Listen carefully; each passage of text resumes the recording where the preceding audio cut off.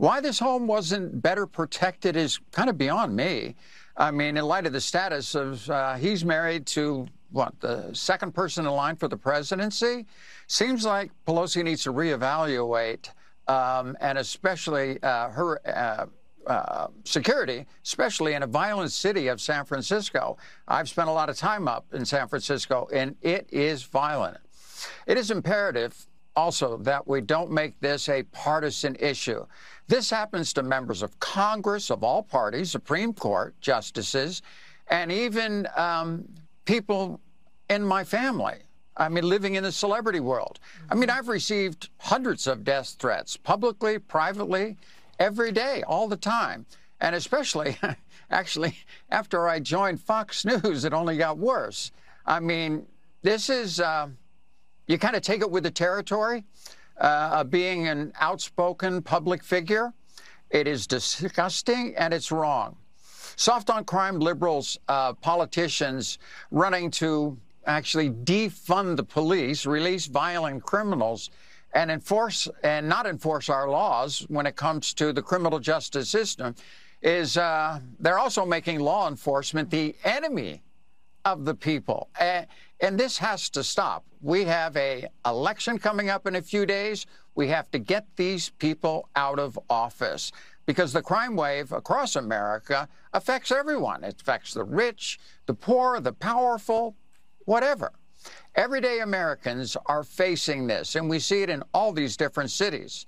Uh, this crime wave uh, is been happening for a long time. And uh, voters, honestly, they need to do the right thing when it comes up just a few in just a few days.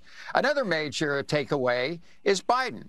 Truly, he has done nothing to tone down the rhetoric and unite this nation. Violence of our, in our nation is everywhere and it's at record levels. This is truly, he's become kind of the divider in chief.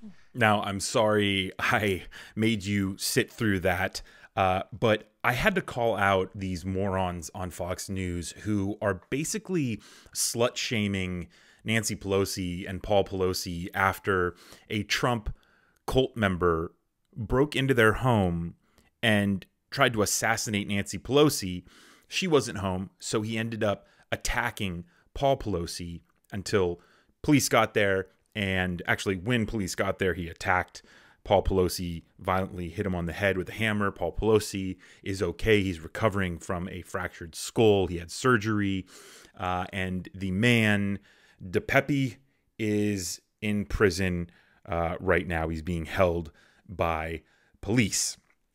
And this comes after years and years of violent rhetoric from conservative media, Donald Trump, and of course, Fox News. So, of course, Fox News is doing everything they can to deflect the blame. And so, of course, they bring on the person that we all want to hear from, and that's Caitlyn Jenner, the failed California politician who wants to talk about how she knows the state, and especially she knows that San Francisco is a violent place.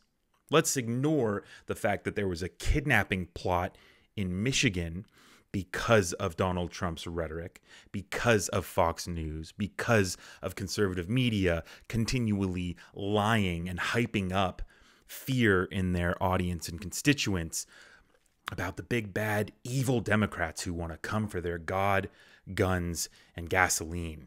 Marjorie Taylor Greene, in recent speeches at Donald Trump's rallies, have said that Democrats have already begun killing Republicans.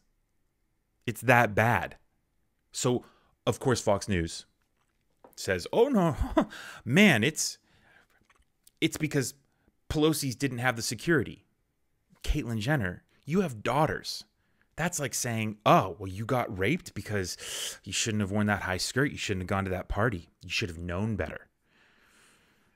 Caitlyn Jenner, I don't know how you live with yourself, how you can in the same sentence, in the same breath, say we shouldn't make this a partisan issue, and then turn around and blame the liberals for releasing violent criminals and for making the police the enemy.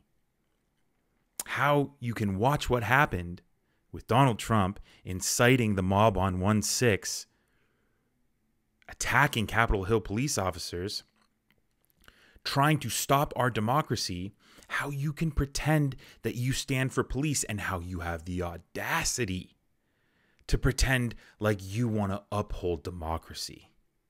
And then, of course, you blame Joe Biden for not toning down the divisions in this country. The ones that Donald Trump stuck a crowbar in and wedged as hard as he could to divide us? Right, Caitlyn Jenner. The brainworms that you have to have to watch Fox News, believe everything they say, and then to be hired to go onto Fox News and repeat those talking points.